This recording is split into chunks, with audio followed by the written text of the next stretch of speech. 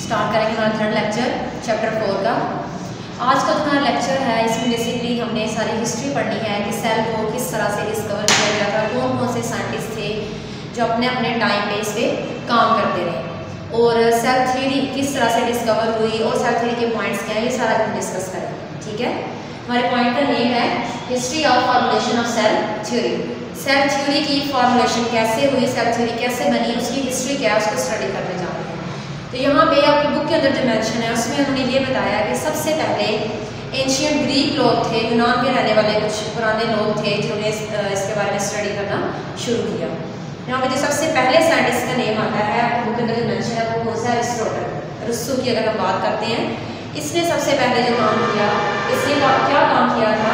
इसने आइडिया दिया था कि जो एनिमल्स हैं और प्लांट्स हैं, वो somehow they are related कुछ ना कुछ आपस में रिलेट करते हैं, ठीक है? अब अगर हम उस टाइम की बात करें कि जब बिल्कुल हमें सेल के बारे में नहीं पता था, हमें सेल के अंदर जो स्ट्रक्चर है, उनका नहीं पता था तो ये बात बहुत अजीब थी एक आइडिया बहुत अजीब सा था कि प्लांट्स और एनिमल्स एक दूसरे से रिलेट करते हैं, एक दूसरे से मिलते हैं।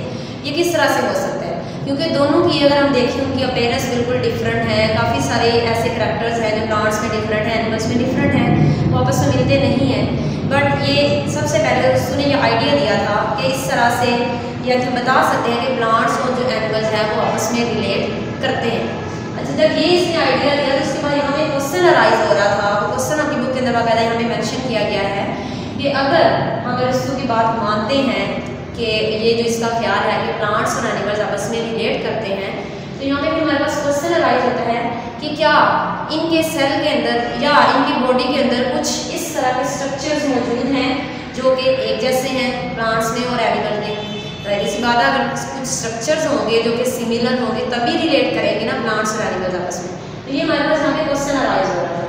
अब फिर आगे आगे इसके ऊपर मजीद लोग काम करते गए। यहाँ पे बात कर रहे हैं कि सबसे पहले सेवनटीन सेंचुरी में एक बहुत बड़ा, आप ये कह सकते हैं, काम हुआ था। यहाँ पे हुआ गया था? सेल डिस्कवर हो गया। था ठीक है? ये किसने डिस्कवर किया? यहाँ पे साइंटिस्ट का नेम मेंशन है। साइंटिस्ट है रॉबर्ट हुक 1665 में उसने सेल को डिस्कवर किया।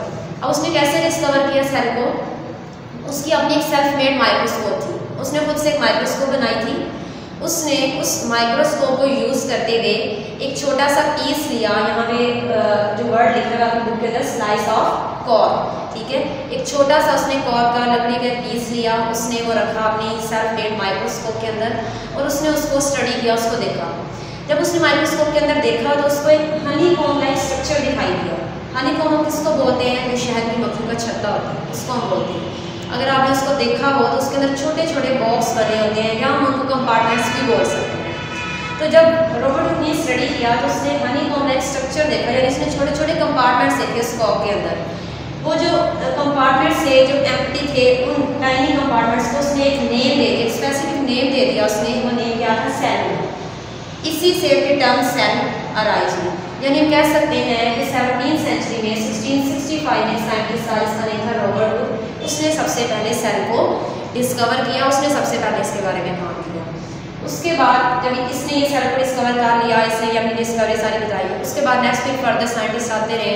यहाँ पे जो मैंशन है, हमारे पास वो है एंटोन लिमोन अब इसने क्या काम किया? इसने कहा कि जो लिविंग ऑर्गेनिज्म है, इसने सबसे पहला लिविंग ऑर्गेनिज्म या लिविंग सेल आप ये कह सकते हैं डिस्कवर किया। पानी के अंदर पॉन्ड में इसने देखा था।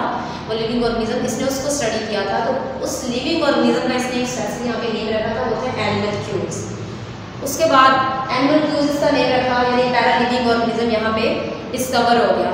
उसके बाद टाइम गुजरता रहा, तकरीबन एक सेंचुरी गुजर गई। नेक्स्ट नाइनटीन सेंचुरी में आ रहे तो एटीन ज़ीरो नाइन हमारे पास, अठारह सौ नौ में एक और यहाँ पे साइंटिस्ट का नेम क्या है जीन बेपिस डी लमा उसने अब काम किया। उसकी स्टेटमेंट जो उसने काम किया, उसने ये कहा कि किसी भी अगर बात करते हैं कि किसी ऑर्गेनिज्म की तो उसके अंदर वो कह रहे हैं no body can have life किसी भी एक जिसम के अंदर ज़िंदगी मौजूद नहीं हो सकती if its part are not cellular tissues अगर ये सेलुलर टिश्यूज से मिलकर नहीं बनी अगर कोई भी जिसम सेल और टिश्यूज़ पे कंपोज नहीं है, उससे मिलकर नहीं बना तो अंदर लाइफ एग्जिस्ट नहीं करती। यानी लाइफ की एग्जिस्ट करने के लिए या लिविंग ऑर्गेनिजम्स के अंदर ये सेलुलर टिश्यूज़ का होना ज़रूरी है। जब तक ये सेलुलर टिश्यूज से मिलकर नहीं बने होंगे, तब तक हम नहीं कह सकते कि ये लिविंग ऑर्गेनिजम्स हैं या इनके अंदर लाइफ एग्जिस्ट कर रहे हैं। उसके बाद नेक्स्ट हमारे पास वहाँ पे एक बड़ा ये कह सकते हैं कि इन्वेंशन थी, वो क्या थी? एटीन थर्टी वन में वो साइंटिस्ट है उसका नेम है रॉबर्ट ब्राउन रॉबर्ट ब्राउन ने क्या काम किया था उसने न्यूक्लियस को डिस्कवर कर दिया। अब न्यूक्लियस आप सबको पता है न्यूक्लियस क्या है? सेल के सेंटर में बेसिकली ये एक तरह का स्ट्रक्चर है, जो कि सेल की सारी एक्टिविटीज़ को कंट्रोल करता है। बिल्कुल वैसे ही जैसे हमारा ब्रेन हमारी सारी बॉडी को कंट्रोल कर रहा होता है, वैसे ही जो न्यूक्लियस है सेल के सेंटर में, उसकी सारी एक्टिविटीज़ को कंट्रोल करता है। अब यहाँ पे इसने न्यूक्लियस डिस्कवर कर दिया। उसके बाद नेक्स्ट जैसे टाइम गुजरता गया एटीन थर्टी एट में यहाँ पे एक बोटैनिस्ट था, उसका नेम था मैथियस शील्डन शील्डन ने यहाँ पे उसकी डिस्कवरी बताई है क्या काम किया। उसने प्लांट टिश्यूज को स्टडी किया था और उसने स्टेटमेंट दी, पहले उसने स्टेटमेंट दी सेल थ्योरी की। बेसिकली शील्डर और शवान ये दो साइंटिस्ट थे जिन्होंने सेल थ्योरी की बुनियाद रखी, जिन्होंने सेल थ्योरी के बारे में बताया, जिसके अकॉर्डिंग फिर हम किसी भी लिविंग ऑर्गेनिज्म को डिफाइन करते हैं। यानी ये इन इन, अगर ये ये करैक्टर्स होंगे किसी के अंदर भी तो वो एक लिविंग ऑर्गेनिज्म है। ठीक है तो ये बेसिकली दो हमारे पास सेल थ्योरी की बुनियाद रखी थी। तो यहाँ पे उसने प्लांट टिश्यू को उसने ऑब्ज़र्व किया, उसने स्टडी किया और उसने फ़र्स्ट स्टेटमेंट दी थी सेल थ्योरी की। वो स्टेटमेंट क्या थी?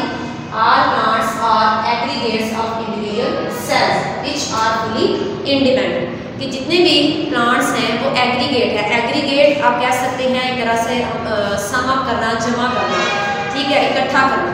एग्रीगेट ऑफ़ सेल यानी इंडिविजुअल सेल ज़्यादा सारे मिलके एक पूरा प्लांट बॉडी बनाते हैं विच आर फुली इंडिपेंडेंट तो ये सारे के सारे सेल्स क्या हैं? इंडिपेंडेंट हैं, दूसरे के ऊपर डिपेंड नहीं करते, अपना अपना काम खुद करते हैं। ये इसने सबसे पहले वहाँ पे स्टेटमेंट दी थी।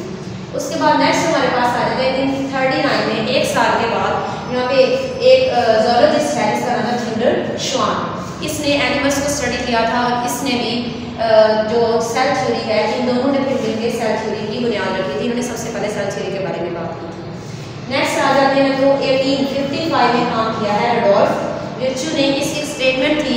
वो स्टेटमेंट जो कि बड़ी यहाँ पे सिग्निफिकेंस रखती है। स्टेटमेंट क्या थी? ओमिनस सेलुला ई सेलुलर यानी जितने भी सेल्स हैं, वो प्री एग्जिस्टिंग सेल से ही अराइज होते हैं। एक जो सेल नया बन रहा है, वो कैसे बना है? वो कहीं हवा में से तो नहीं आ गया, ऐसे तो नहीं आता। तो एक जो नया सेल बन रहा है, वो पहले से मौजूद सेल की डिवीज़न से बन रहा है। पहले से मौजूद सेल डिवाइड करेगा, फिर उससे एक नया सेल अराइज होगा। तो ये इसकी स्टेटमेंट थी ये बड़ी इंपॉर्टेंट है इस लिहाज से। नेक्स्ट लास्ट में हमारे पास आ है एटीन सिक्सटी टू में लॉइस वासा ने काम किया था। लॉइस वासा ने रेडोल्फ मिर्चू के आइडिया को ही उसने लेके वो आगे चला था, उसके ऊपर एक्सपेरिमेंट्स किए फिर उसने प्रूव किया था कि ये जो उसकी स्टेटमेंट है, ये बिल्कुल दुरुस्त है। तो इन सारी अगर हम देखें जो जो डिस्कवरीज हुई, इनकी बेसिस पे भी हमें सेल थ्योरी दी गई है। सेल थ्योरी बेसिकली यही हमारे जो आज का टॉपिक था कि किस तरह से सेल थ्योरी बनी है या इसकी हिस्ट्री क्या है। तो हमने ये जो शील्डर और शवान है, इन दोनों का यहाँ पे मेजर कंट्रीब्यूशन है। इन्होंने इसके ऊपर ज़्यादा काम किया। तो सेल थ्योरी के हमारे पास तीन यहाँ पे बेसिक पॉइंट्स आते हैं।